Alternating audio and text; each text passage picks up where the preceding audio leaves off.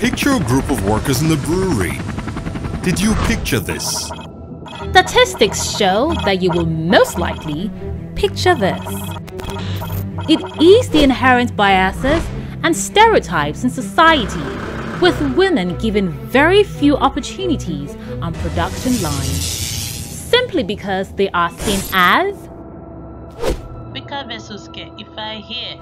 In a production line, you hardly see women in the line, but Guinness Nigeria has done a lot to bring about inclusion and diversity. Guinness leadership team supports my career goal. They've created a good work culture that has been able to give us equal access to work. They believe we can succeed and they believe we can be the best we want to be. We celebrate our Amazons who are breaking biases and stereotypes and showing the world that anything is possible.